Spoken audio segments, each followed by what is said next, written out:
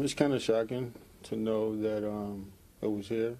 Alonze Thornton says his grandmother lives in the same building where this shocking video was broadcast on Facebook Live Tuesday. This right here, he represents Trump. Showing a white teenage victim with mental health issues being abused by four black individuals. Actually hearing about it word of mouth that it was in the area and actually coming here today knowing that it was here is it's appalling. The suspects face a slew of charges, including aggravated kidnapping, aggravated battery with a deadly weapon, and hate crime. The judge denied the suspects bond Friday and scolded them in open court, saying, I'm wondering where was the sense of decency that each of you should have had.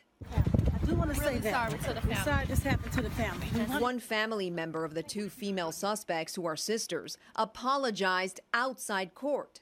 Inside, the suspects showing no emotion, even when prosecutors described their alleged every move in open court.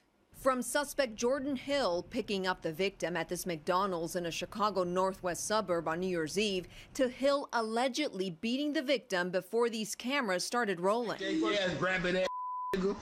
Fuck, cut his mother- Once they did, according to prosecutors, Hill even asked for ransom. The defendant Hill communicates with the victim's mother and demands $300 ransom in exchange for getting her son back.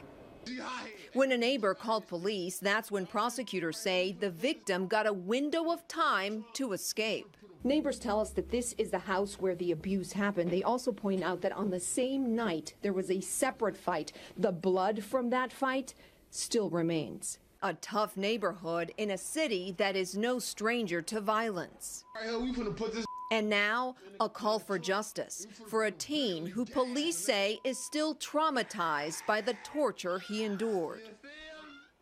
As for the victim, I spoke to the family spokesperson, and he tells me that the victim is with his family and they're asking for privacy and prayers. Rosa Flores, CNN, Chicago.